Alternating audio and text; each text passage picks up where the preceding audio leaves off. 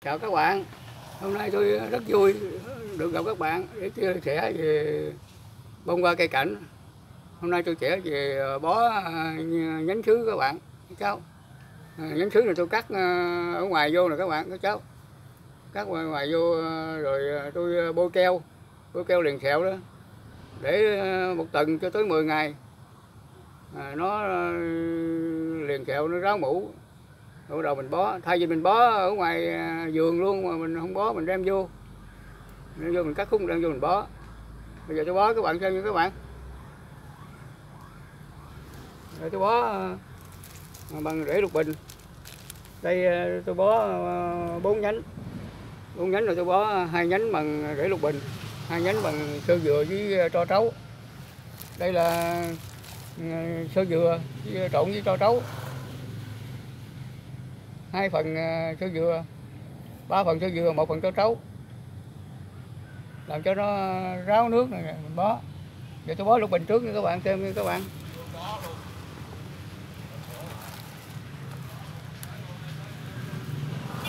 Mình ờ, cũng ờ, để vô miếng mũ vậy nè.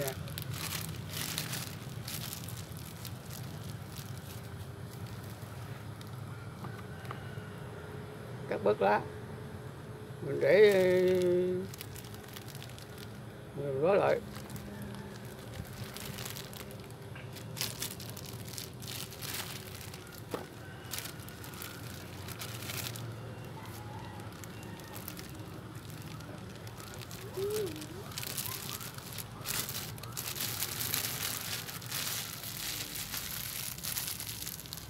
Ông bóp cho chặt chặt tay chút cho nó, chặt chặt chút sơm lỗ xôm ở dưới này à, gài ba lỗ cho nó? Mai mốt mình tưới rồi nó, nó, nó thoát nước bớt.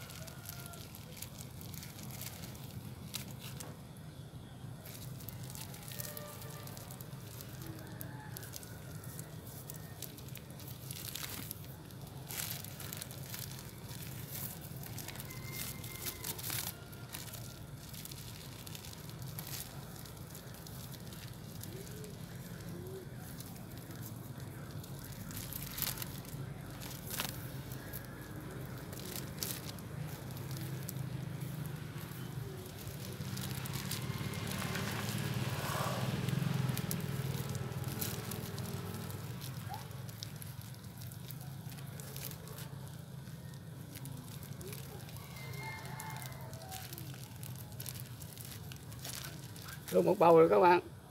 Các bạn ờ, bó xong hết rồi, các bạn để trong mát. Để dựng đứng như vậy nè. Để dựng đứng như vậy để trong mát. Khoảng một tháng ờ, rưỡi sau, tháng tháng rưỡi sau nó ra rễ. Các bạn để thêm cho nó hơi dài dài, chút các bạn trồng. Đem ra vườn trồng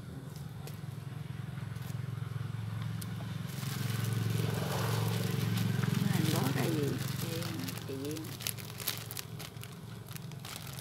này là cây sứ kỳ duyên ngọc bích. Hai thứ.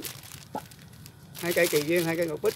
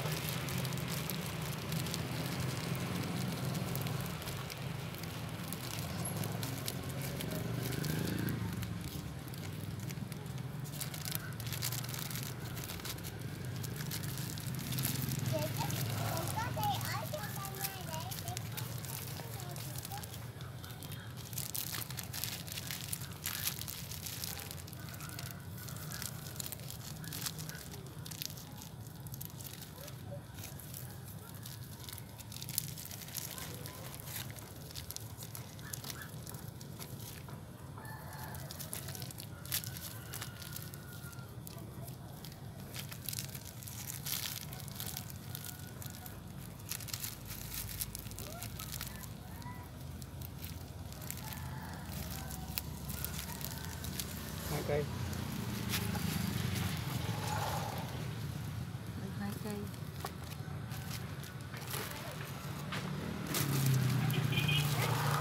hết ờ, uh, sữa dừa này hết rồi tôi bây giờ bó uh, lục bình hết rồi tôi bó sữa dừa.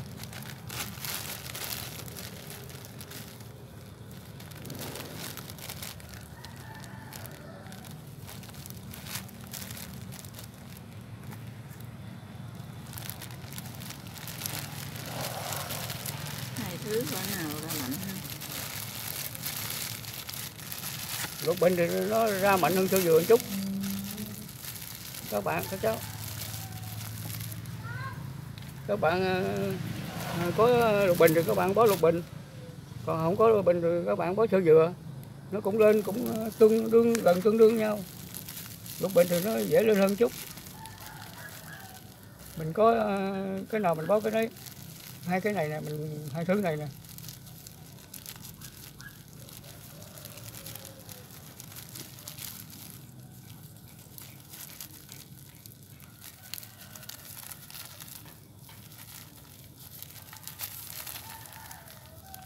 Các bạn thiếu chặt, thiếu cho nó chặt chặt chút.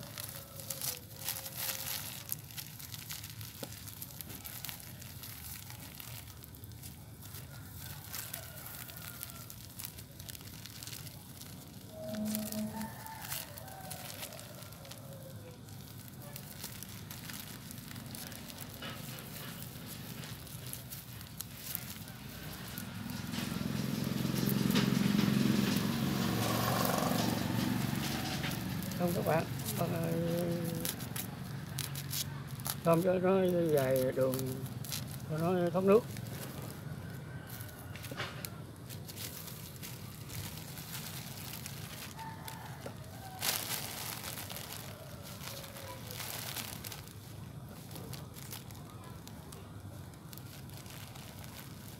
Để vô chừng ờ, ờ, hai ba phân à. Bỏ lại.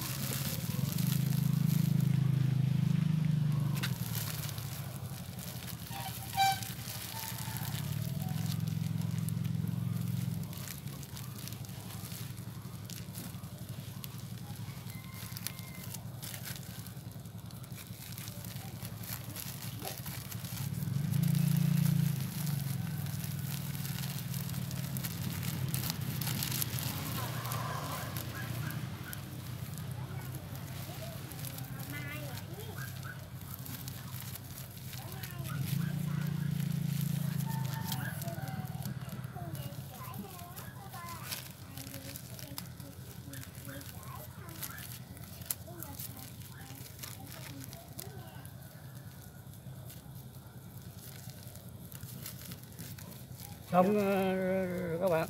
Kìa. các bạn ờ, thấy mà nó cái bầu này mà nó khô nó thấy nó hơi, hơi khô á. Các bạn nhiễu nước vô đây nè. Nhiễu nước đây là nhiễu ít thôi. Là giữ ẩm cho cái, cái bầu này đặng cho rễ nó nó lên. Đừng để khô quá. Khô quá rễ nó lên yếu hoặc nó không lên. Vậy là xong được bốn bầu các bạn rồi các bạn để trong mát. Các bạn để trong mát đó các bạn. Để đứng lên trong mát nè. Đó. Vậy đó, tưới nước. Tưới nước ờ, vô cái cái ờ, chỗ này. Thì nó thấm xuống ờ, vô cái bầu này. Rồi canh nó nó vừa ráo, nó vừa ẩm ẩm thôi.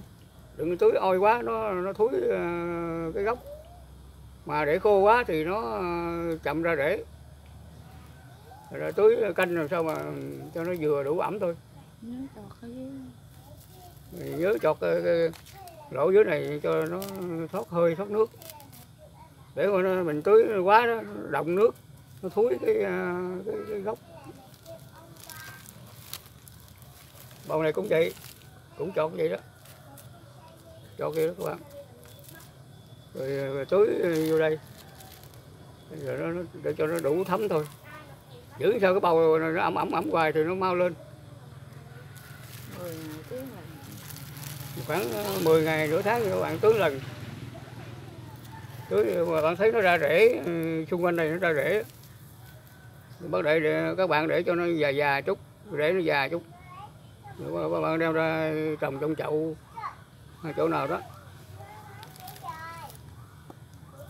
Cái này mà bằng rễ lục bình rồi các bạn. Cũng làm vậy, cũng tưới nước. Lục bình nó giữ ẩm ờ, lâu lắm. Cũng tương đương với cái sâu dừa. Rồi các bạn đem vô để trong ờ, trong mát. Bưng vô để trong mát. Thăm chừng khoảng một tháng rưỡi sau rồi nó ra rễ mạnh.